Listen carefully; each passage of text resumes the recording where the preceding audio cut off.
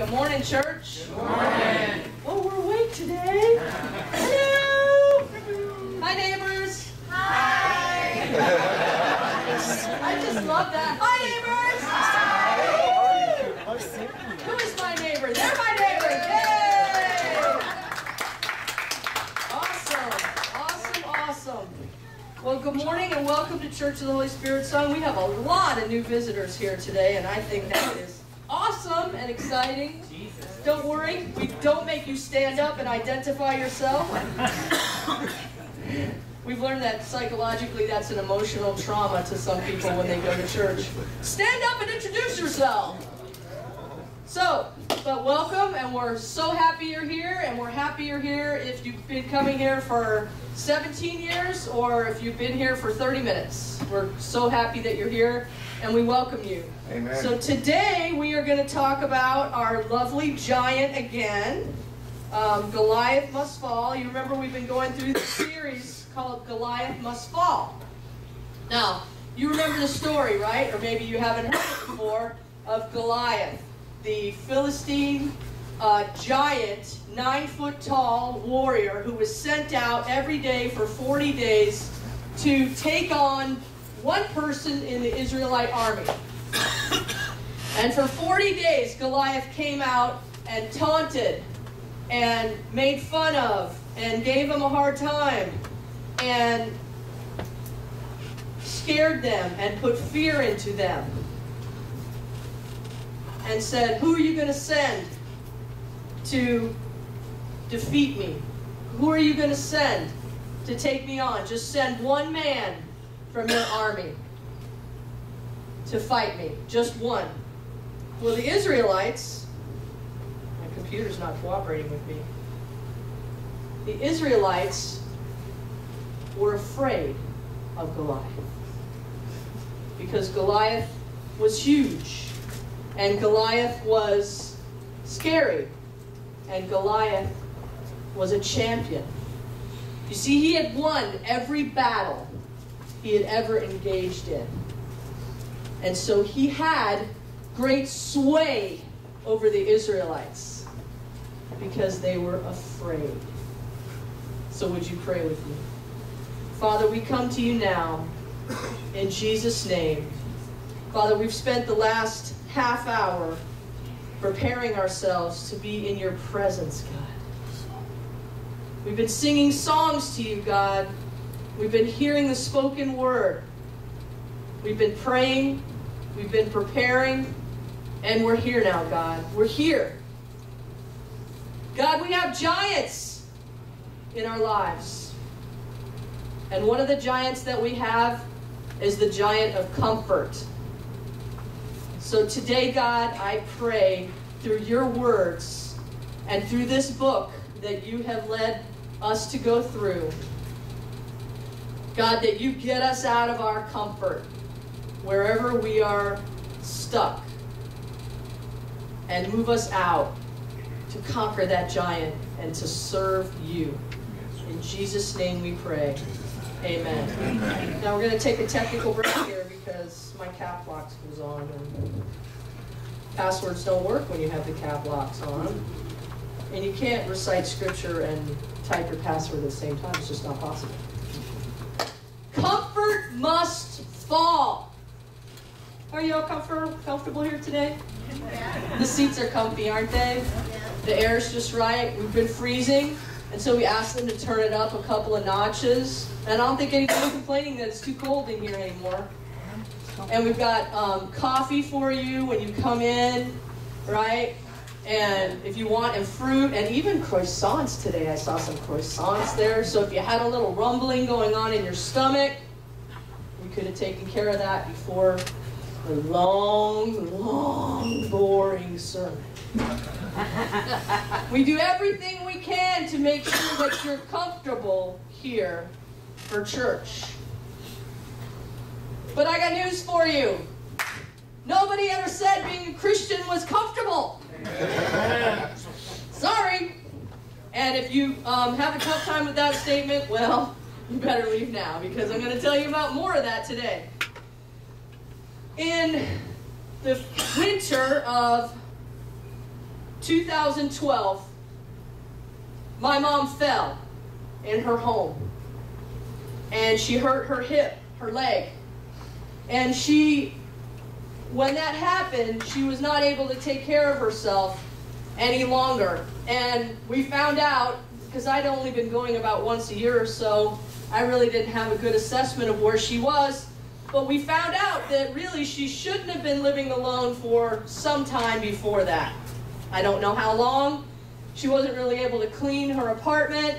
Um, after her fall, she was having difficulty bathing herself, clothing herself. And so we kind of got hit right in the face with, hello, we have an issue here that the five kids now have to take care of. So at first, she went into the hospital for a little while, and then she went into, she couldn't stay home alone, and so she went into, um, had an aide at home for a while, which my sister and brother-in-law were paying for through the generosity of their hearts. They were very generous to have an aide in her home. And then after that, she went to go stay at uh, an assisted living home. It was a private home where they had um, mostly the the residents that were living there were living with Alzheimer's. And then mom, who was there because she really couldn't ambulate and take care of her daily needs. That was very difficult for her. Very, very difficult for her because she was a very social person. She didn't have anybody to socialize with. The other patients were very severe in their Alzheimer's. It was very difficult and very sad. Um, a difficult place to go and visit for sure. So mom, Sandy and I talked. And I'll never forget where we were sitting on the driveway of our home in Miramar and we were talking. And Sandy looked at me and she said, words that I'm sure she wondered why she ever said, Do you want to bring her here? Sandy said that. Jesus. Yes. I never would have expected Sandy to say that. In fact, I was afraid to say it because I didn't want to put it on Sandy to move my mom to come and live with us. I never would have said it. And she said, Do you want to bring her here? And I looked at her and I said, Are you sure about that? Let's pray about that. And she said, I'm sure. I know you don't like me when I speak highly of you. So I'll stop speaking highly of you in a moment. nah. Sandy has a servant's heart. She serves me every day. So we prayed, and it seemed as though the Lord was leading us to do that. Now, at the time, we had only been together for three years, still a very young relationship. We were still getting to know each other. I was still learning to not tell her where to put the utensils in the dishwasher and how I wanted them.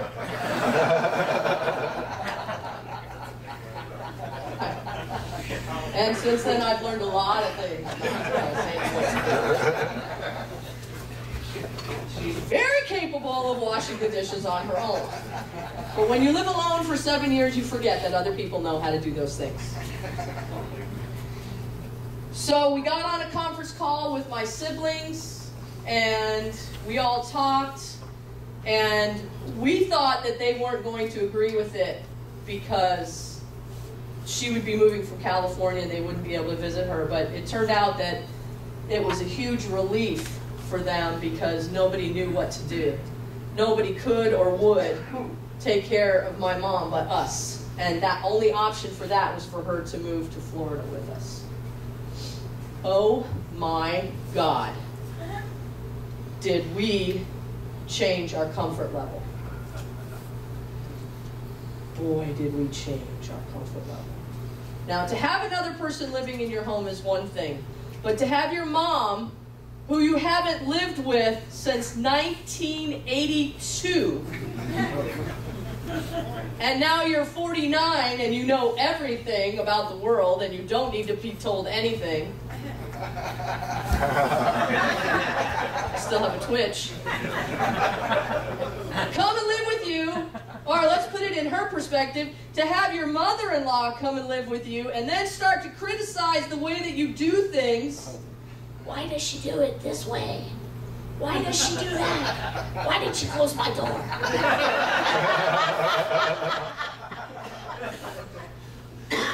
uh, yeah.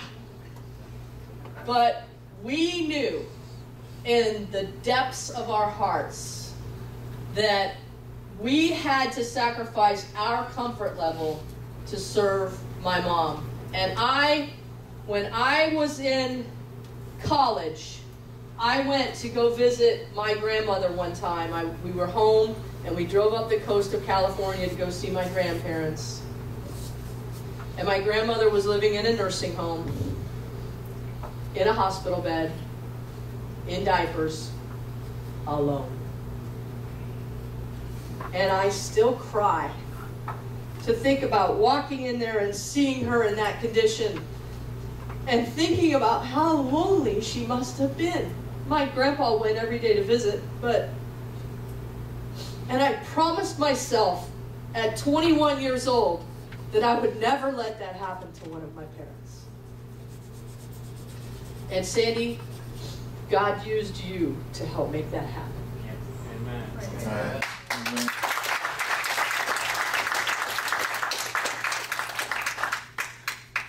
But we we lost our comfort. We did. It's difficult to have someone else living in your home, to have your mother and your mother-in-law living in your home. But we knew that comfort in our lives must fall in order to serve mom. We had faith that God was leading us to that place. And so that's what we did. And she lived with us for just over four years. And um, God rest her soul passed last year, February, or March, March 8th. Um, last year, and moved, uh, wrapped, moved into the loving arms wrapped around her of her Lord and Savior Jesus Christ. Comfort must fall, guys. In our lives, comfort must fall.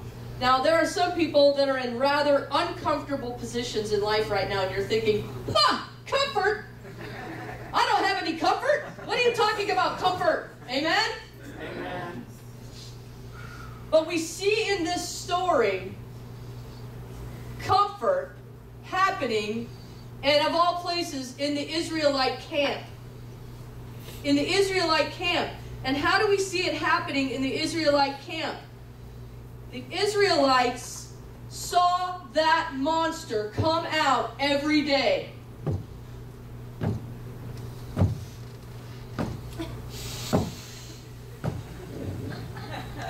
Every single day. Yes, they were afraid, but yes, they, were they would rather stay comfortable than send one out to battle the giant. So we're going to learn today how we can be encouraged to get uncomfortable. Okay? Anybody uncomfortable about where we're going? Number one, Remember that faith thrives in discomfort. Faith thrives in discomfort. Oh, great! That's what I really needed to hear right now. Yeah, great! My faith isn't going to grow unless I'm uncomfortable. That's right. That's right. But it's true. If you take a look at chapter 11 of the book of Hebrews, you see the faith hall of fame. Hebrews 11.1 1 defines faith for us, right? Faith is confidence in what we hope for and assurance what we do not see. You're standing on the first step of the staircase and you can't see any of the rest of the staircase, yet you continue to go down the staircase. That's faith. Faith not only thrives in discomfort, but the gospel is rooted in a place of discomfort. How is that? Well, what's the gospel? While the pain, while the cross brought pain to Jesus, in the very same breath, it brought freedom to us. You see, when he let that last breath out, Jesus died an excruciating death. But that last breath brought freedom to us. That's the gospel. That's the truth of the gospel. His death is the very reason that we can live and breathe with security. Amen? Amen. This is our story. People ask, what does it mean to be a Christian? It means to put our faith in the work of Jesus Christ. It means that Jesus came to live on this earth, right? He died on the cross. He was resurrected. And he comes and he came back now not to live as a single person human as God, but inside of us.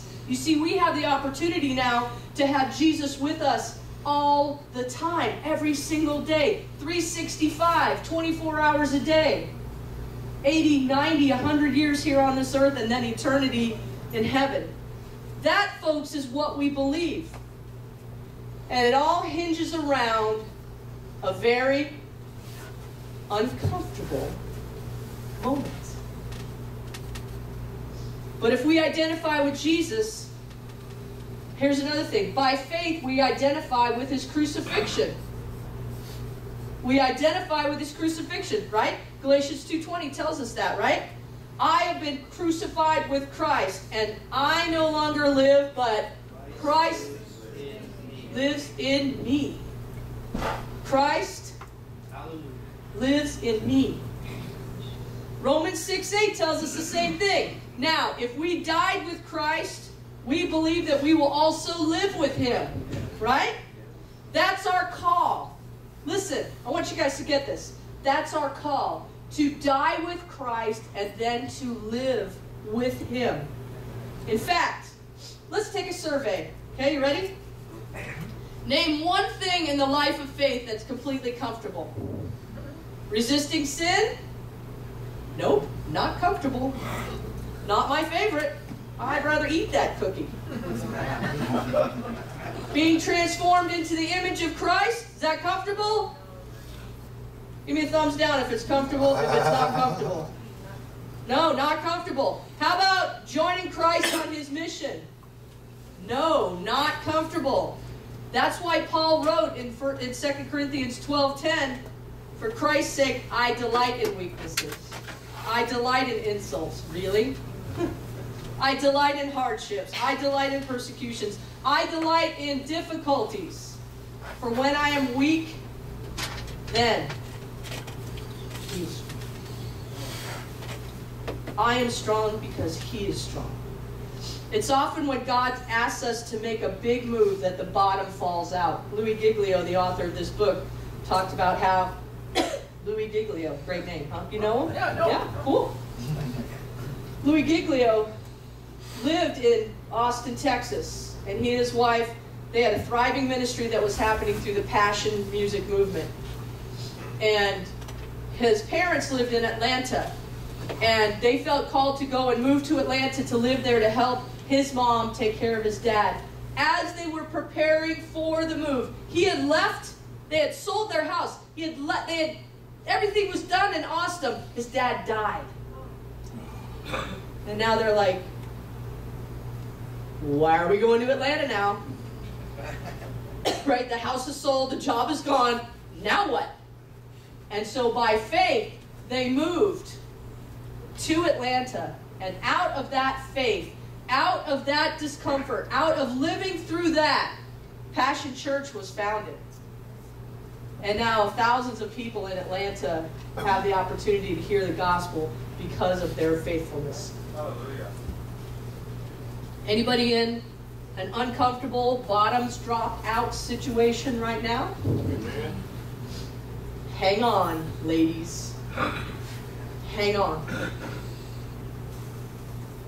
Number two, we remember the point of our lives is not the fame of Leslie Rutland or Mike Smith or Lorenzo Robertson. The fame of our lives is about Jesus Christ. Amen. So, how do we ensure that we don't lose God's opportunity by setting back in our comfort and complacency? I'm good. I got my two bedroom, three bathroom house, house, and I got a nice, comfy job, and everything's good. We live two minutes from work. It's all good. Right? But what does Jesus get out of that if I stay comfortable? We remember the point of our lives is the fame of Jesus. Our freedom and God's glory are intertwined. So we have to remember that when we get free from that giant, that doesn't mean just stay comfortable. Anybody, have anybody got one of those recliners, electric, headrests? You know, we just bought this new furniture in our new house. And it's nice to stay there. It's comfortable, you know? But every once in a while, I got to get up off of my and get out and go do what God calls me to do. What does it mean to be uncomfortable? It means that we got to be willing to pay the price to take whatever step it is that God is asking us to take. I'm going to say that again. It means that we got to be willing to pay the price to take the step that God is asking us to take. God is asking you to take a step in your life right now. I'm in the middle of a big faith step right now. Big faith step. I'm in grad school. I'm 53. I got halfway through, and then I went, eh. That's what God is asking me to do. You're in the middle of a big faith step right now, and I can see it on your faces. You're nodding your heads at me. Something's changing. Something's coming.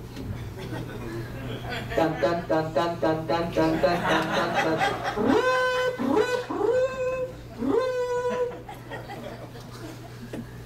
It means that we've got to be willing to pay the price for whatever step God is asking us to take. And then when we see by taking that first step that God is glorified, we realize, oh, it's not about me. It's about you.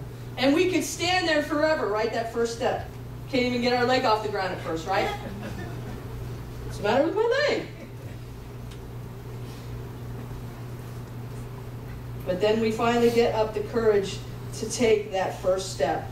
And we see that God is glorified through that step, and we realize that something bigger is happening in our lives. Right, Tim? Something bigger is happening in your life, Tim. The army of Israel was complacent in their comfort. They had their food. They had their tents. They had a war cry. They had armor. They even had men who came and replenished their supplies. Why move? Yeah, the giant's scary, sure. But we're good here. But they weren't moving. But here's the thing, is that once David showed up, and he heard the taunts of Goliath, and he heard the threats, and he saw what was going down, he took a look at Goliath and he said, no, you're not going to continue to do this to my God because you're dishonoring my God. You're dishonoring my Savior who's yet to come. You're dishonoring the people of God. And so Goliath said, No, I love God. I know God. I worship God. I'm not going to let you do this to God anymore. it's the same thing that Jesus did when he stepped out of heaven. He was willing to obey God, come to earth, be uncomfortable, live in the tension, all the while knowing that he would suffer an excruciating death. Can you imagine?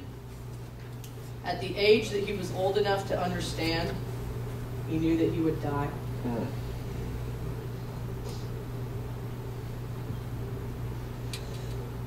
That's like at three years old being told that you're going to die of a terminal illness when you're 33. How would you live your life? Mm. What would you do? What faith steps would you take? How about us? Sorry. Are we willing to serve God in this way? It's kind of scary, isn't it?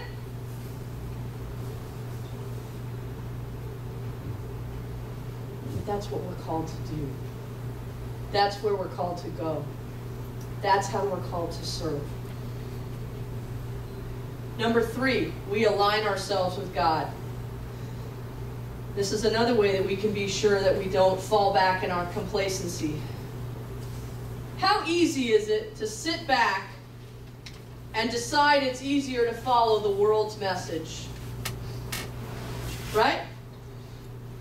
Diane, go to school, get a job, go to school again and get a better job.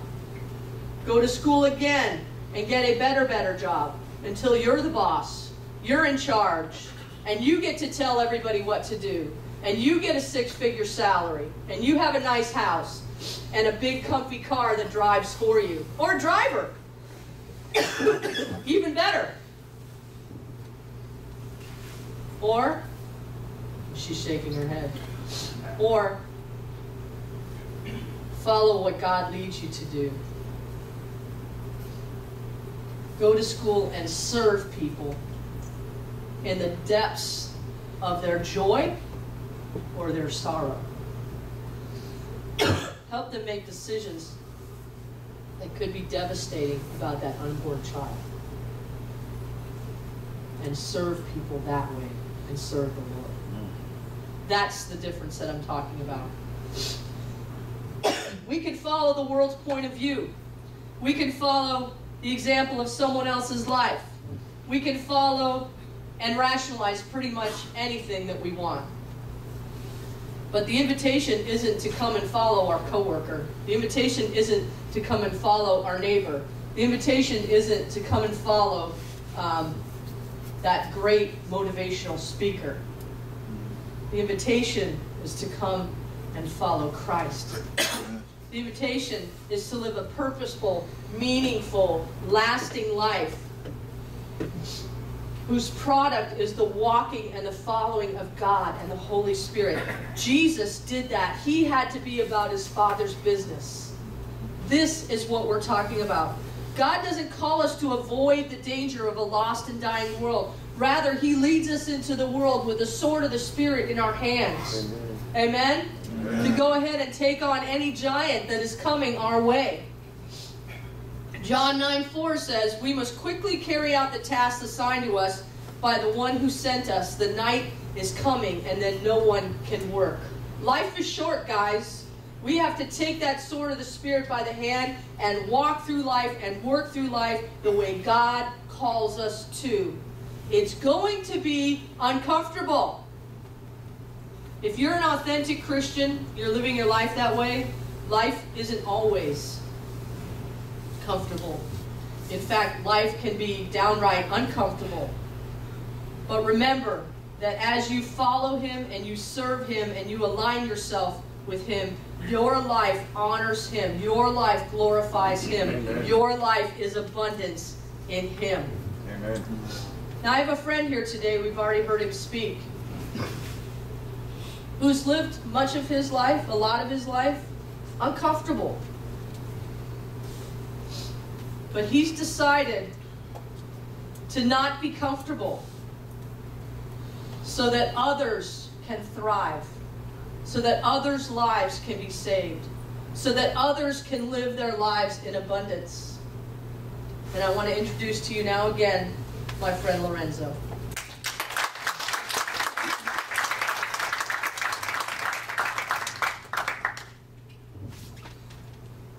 You.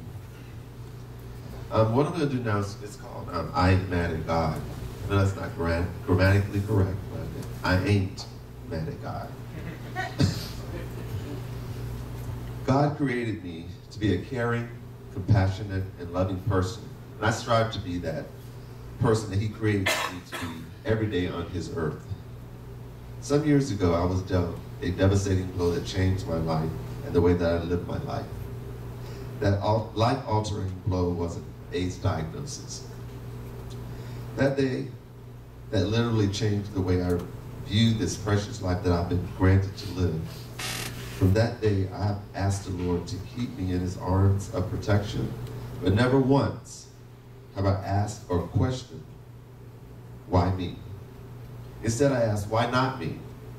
Obviously, God knew that I could handle the pressures and challenges that ultimately would be ahead for me and my family and my friends. With prayers and support from people that love and care about me, I've embarked upon this tedious journey as a person living with AIDS. I've opted to flip the script though because, and not pretend that I'm living with AIDS, AIDS is living with me. I know that I'm living with AIDS, but I have decided that I'm not going to allow AIDS to dictate how I live my life and how I want to do it. AIDS was a AIDS is a devastating disease, and many people are afraid to even utter the word AIDS. I'm not one of those people. I've even taken it one step further. I work in the field as well. You know that one thing that I've learned about people, especially my black people and religious people, um, most of them are afraid to say the word AIDS.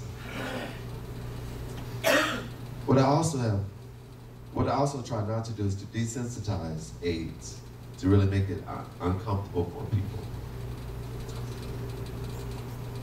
Um, what I do is to make sure that we don't sweep it under the rug and never speak about it again, especially in mixed company. And that's anybody outside of the family. However, through it all, I've learned that the more and more I've learned to lean on the everlasting and strong arms of the Lord. He has helped me when there was no one there to hold me. He has comforted me in those lowest hours when I just didn't feel like I wanted to go on living with li- living this life with AIDS any longer.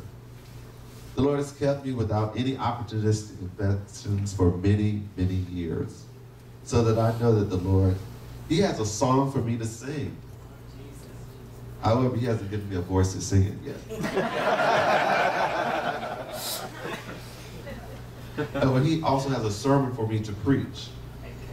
But um, I don't know if he, he had maybe been calling me, but maybe I haven't been listening properly. uh, but there's um, th- there are some things that I need to do that he has left me here for, and I something that he wants me to do that I may not have done yet. So I will continue to pray and ask the Lord to keep me in His loving arms, His loving, strong, and caring arms of protection to protect me from the enemy. See, I am mad at God for all the things He has allowed to happen in my life. I'm grateful. I'm grateful that I'm still here to praise the Lord one more time Yes. and to be allowed to glorify His name to the highest. He has kept me here for a purpose. And for that, I am mad at God. Amen.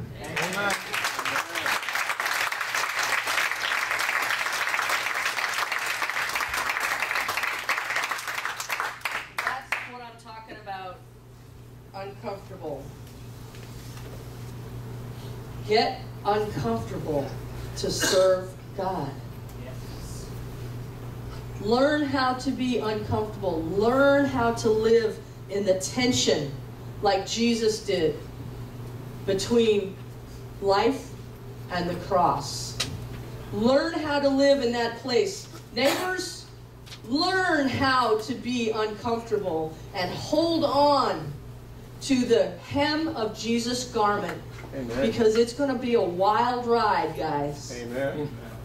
But if you do it and you do it the way He calls you to do it, He gets the glory, not you. Amen. Your faith is made stronger, and you align yourself with God. Hallelujah. So, as we get ready to close, I want to pray over you. So, please bow your heads. Father, we are uncomfortable. We are in places and areas in our lives, God, where we don't know what's going to happen next. And God, we're holding on to stuff to try to keep ourselves steady. But Father, right now, God, you are calling us to let go of that stuff and those people and those things so that we can hold on to you with both of our hands as strong as possible. So, God, let us just make that switch right now from what we're holding on to. That we move from holding on to the job. We move from holding on to the person. We move from holding on to the drugs or the alcohol or whatever addiction it is. And we let go and grab onto you, God, because we know that you will not let us fall that you will always hold us, God, and that we can always find shelter up under the shadow of your wing, God. So as we now hold on to you, God, I pray that you strengthen our faith, Father. Lord, teach us your way. through your word, God. Show us the direction that you would have us head, God. And let us, God, be honest with each other and be transparent with each other, Father, so that we can pray for each other and stand in the gap for each other, God. God, I pray that you give us great faith today as we head out of this place, God, that you have given us a word, Father, where we can be encouraged, God, that yes, sometimes life just really stinks, but you know, and you love us, and you care for us, and you want to show us the way to live our lives for you, God, to glorify you, God, to align ourselves with you, God, to show people, God, that through our weakness, you are glorified, Lord, so that through our lives, other people can get to know you, our Savior, Jesus Christ. Amen. Amen.